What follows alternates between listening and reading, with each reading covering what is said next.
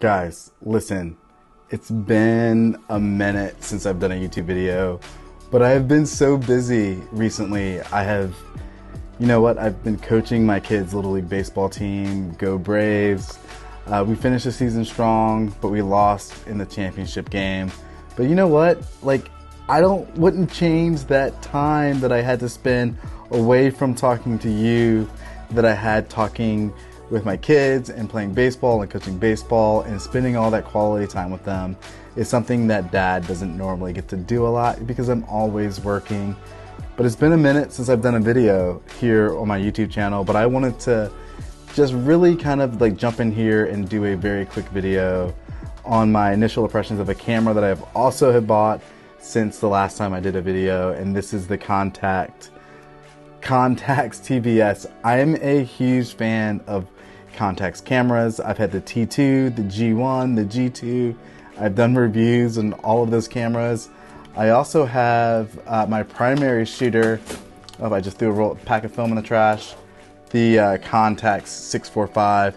This is something that I shoot professionally for weddings and stuff like that. But I was really intrigued by the Contax TVS after selling my Contax T2.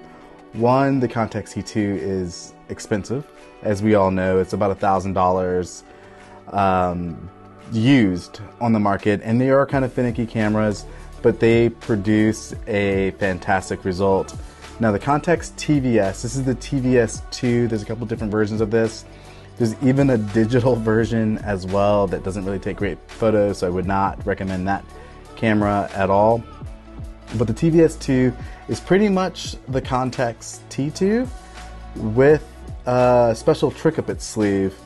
It is actually a zoom lens and it goes from 3.5, I believe, to 5.6 at its longest um, point. I don't typically shoot this zoomed in uh, just because there has been uh, on a bunch of forums a lot of people saying that there is a cord that is connected to this that often breaks. So I generally just shoot this at uh, 28 millimeters, which is the widest it goes. It goes from 28, I believe, to 56, which is a nice, like, kind of like little zoom option here. If that's kind of your jam, I prefer wide lenses. I actually prefer the 40 millimeter, but that's for a different topic. So it has all of the same features as the Contax T2. It does have a, I'm not sure if you can see that here, it does have um, an aperture priority mode. That's that program mode that you see right there. Uh, as you can see, you can also change the aperture. It starts off at 3.5 and it does go all the way up to, what is that, f16, which makes this just a fantastic little camera to shoot. Now I've only photographed one roll through this so far. That's not true. Three, I've got the one in here. This is my third one. I have another one that I shot earlier today.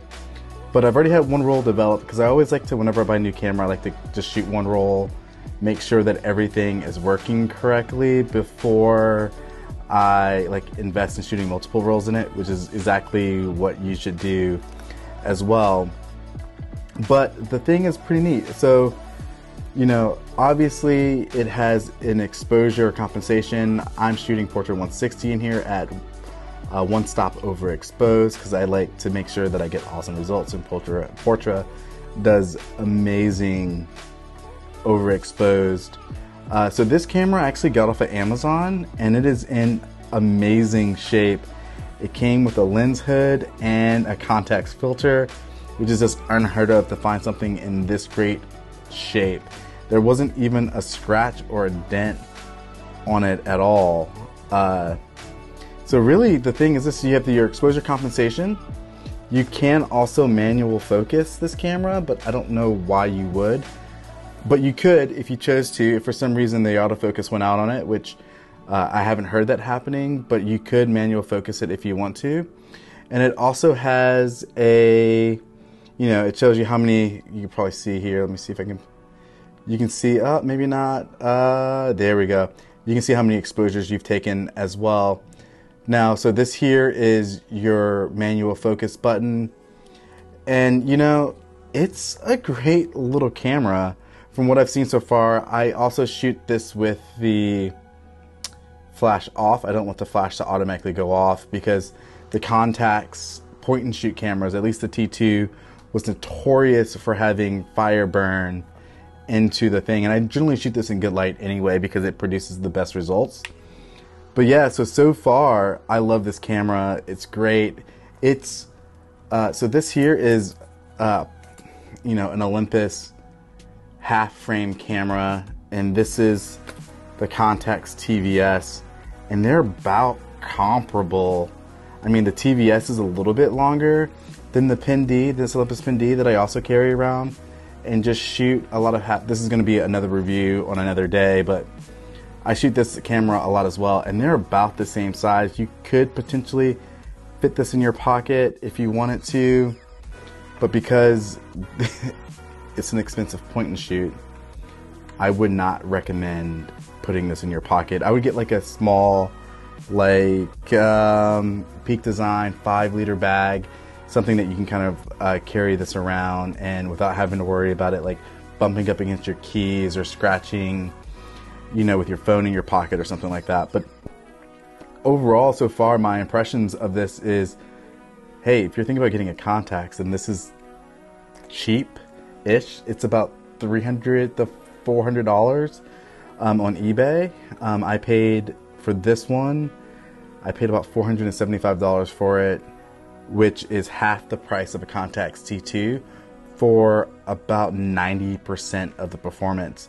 Now it only goes, the Contax T2 goes up to f2.8. This goes to only 3.5 is the widest aperture that you can possibly go. But it still has a program mode. I shot the Contax on program mode as well. The highest shutter speed that this will go up to is 500th of a second. But I'm gonna do a full review on this uh, later, but I just kinda wanna pop in and show you some images that I shot with this over the last, uh, you know, week or so. And yeah, that's really it for this video, guys. I just want to kind of pop in real quick and share my first initial impressions on the Contax TVS 2. And I'll be back with you guys in the next video. Oh, and if you like this video, please make sure you hit subscribe to this channel and I will be dropping some content, uh, you know, somewhat on a regular basis as I'm getting ready to ramp into wedding season. But thank you so much guys for watching this video. I hope you enjoy the images if you're thinking about getting the Contax TVS, so far, so good. I would definitely recommend it. Hope you guys are doing well. Take care. Peace.